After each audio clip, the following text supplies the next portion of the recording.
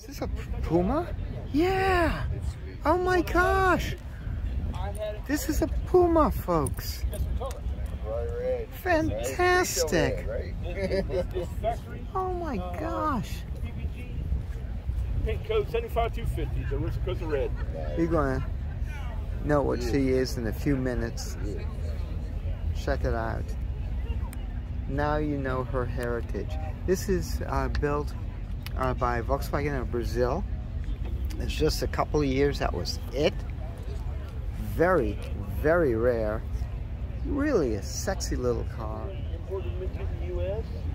Some came over as kit form, and some people had them shipped over after the 25-year import law. There's about 100 of these registered here in the U.S. Conditions terrific. How many years were they built? One or two? Uh, these were built from about 65 to about 85.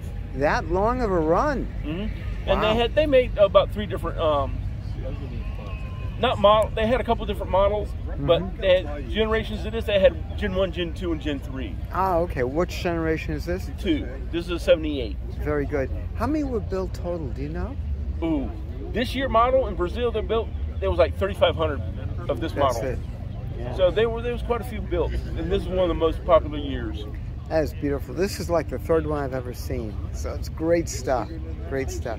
Thanks for coming out. Oh, love it, beautiful. Ah, and what I like is that you're sitting here with a Puma amongst this company and still attracting attention. Oh yes, the young the the younger guys will, will you know for something like that. I appreciate that, but older gentlemen will appreciate the lines on this. I love the lines on this car. It's so beautiful. It is. It's classic. Thank you. And I'm a Volkswagen guy, so I I, I wanted something Oh. different. This is it. You needed that, Ben. Definitely. Thank you.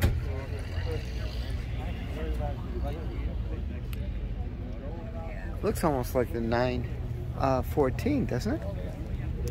That is too cool.